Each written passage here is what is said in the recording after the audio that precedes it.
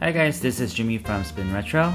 Um, today I'm going to show you how to get started uh, with Retroid OS or Retroid App Launcher. Uh, it may be confusing at first. Um, the whole system, the operating system is running on Android, but you can install this Retroid OS app um, where it launches into their own closed system where you can access all the pre-installed ROMs and access their own market and download more ROMs through their market. So uh, when you first um, get the device, um, open up the app drawer, scroll all the way down, and find this app called Toolbox. So in here, there is a menu called Install Retroid Pocket App. Click this, and of course I already installed it. So, um, but if you don't have it installed, it'll install the app for you. So once it's installed, it creates this icon. And I will show you how to get started on the Android system as, as well on part 2. So um, check out that video when it uh, uploads. So um, let's go to Retroid Pocket app. So here we are at the Retroid Pocket app. Um, the first thing you want to do is set up Wi-Fi. So to do that, uh, hold down home to access the settings. Go to handheld settings, go to Wi-Fi, and choose connect Wi-Fi network.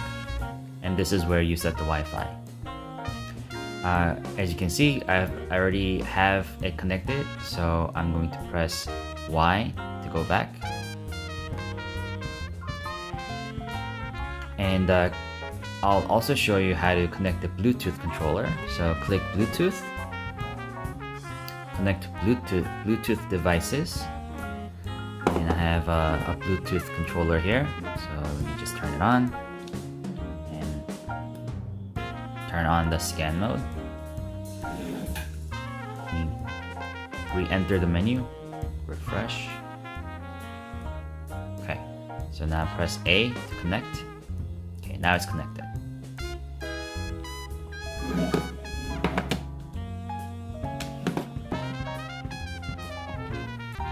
So next, um, to adjust the volume, simply use the volume buttons to adjust the volume.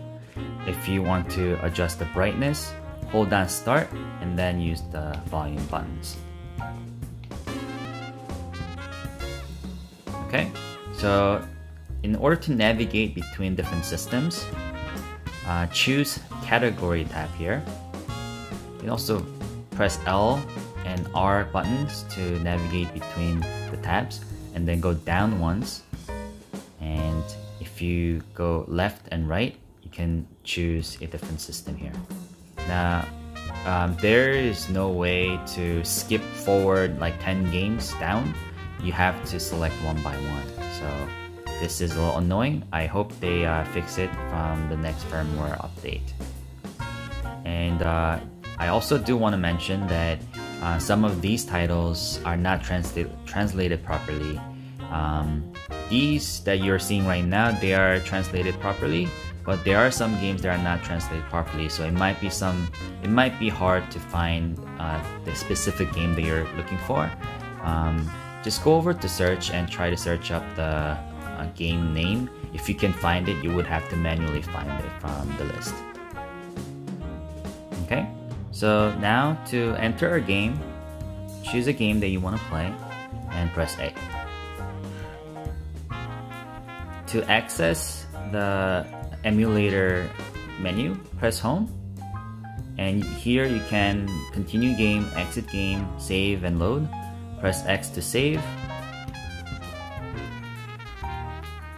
and you can press Y to load. Unfortunately, the in-game saves don't work.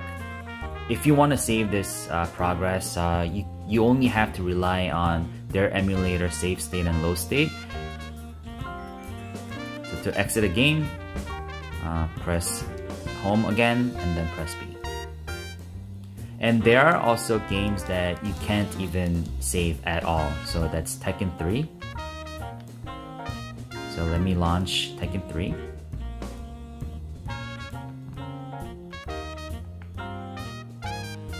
when you press home, you don't get any save state, load state choice. So what does that mean for all of us? Um, this Retroid Pocket app should be used for casual play. Um, if you have um, an arcade game that you want to play, this is a perfect choice. Uh, so next, uh, to access their market, press X. And make sure you're connected to Wi-Fi. And you can go to popular chart or go to category and choose a system that you want to download. So I'll choose N64 and let's try downloading Super Smash Bros. Okay, so the game is finished downloading and trying to install it. Um, you can go to Task Management and you can see what's being downloaded in here in Progress tab. It has finished downloading, so it moved over to completed.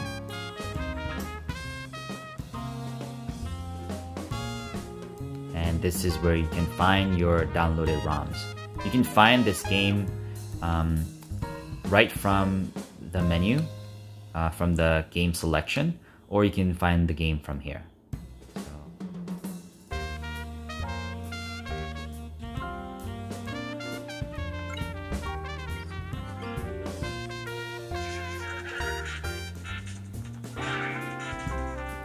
So next, uh, to delete the game, uh, press down home to access the settings. Go to enter game settings. And go to delete game and find the game that you want to delete. Click A and you know press A to continue. Um, if you want to uh, add your own ROMs uh, using the uh, SD card, using the directory. Um, if you want to manually add the games, you can at Retroid OS. So um, I will first show you how to add it and then access it from here. So um, open up your games folder within the SD card and uh, I'll show you um, how the games folder looks like. So this is what the games folder looks like. You have games store, data, download folder, and you have data key and game list Excel file. So data key file is important, important and do not delete this in order to access the uh, Retroid OS or Retroid app launcher. Um, download folder is where you want to put your external ROMs. So if you have ROMs uh, of your own, in what, whether it be a zip file or GB file, GBA file, just put in in here from your computer, of course, um, and you can access this from the Retroid OS. So once you add the games into the download folder, um, go to external games management. I don't have any games here, but um, should the game be here, you can select that game and then click A to add to menu and you have to select the core that you're using whether if it's a GBA game then you have to select GBA uh, and if it's an arcade game you just have to select the arcade. Um, next um, in order to change the key mapping for player 1 player 2 you can go to key settings. And let me connect this Bluetooth controller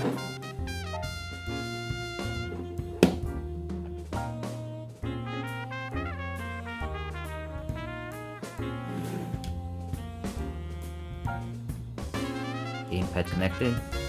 So go under go under gamepad settings. And here you can change player 1 player 2 player 3 player 4 and press A to redefine gamepad keys.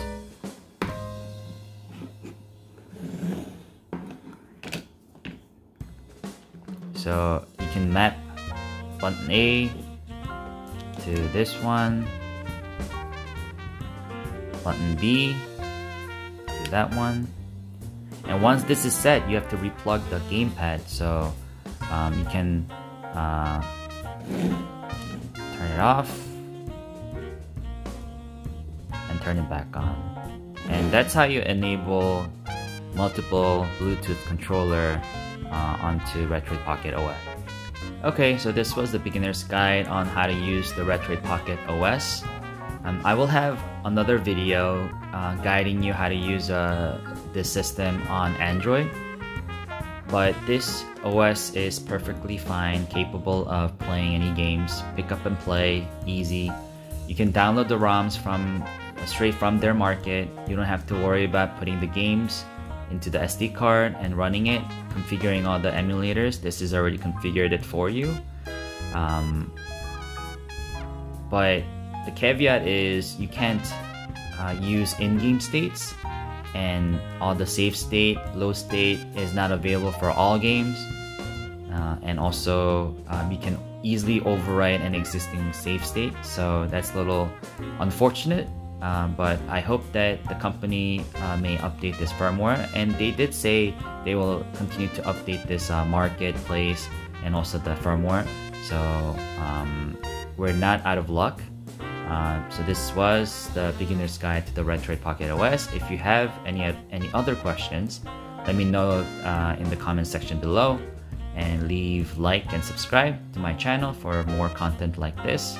And uh, as always Thank you for watching. Bye.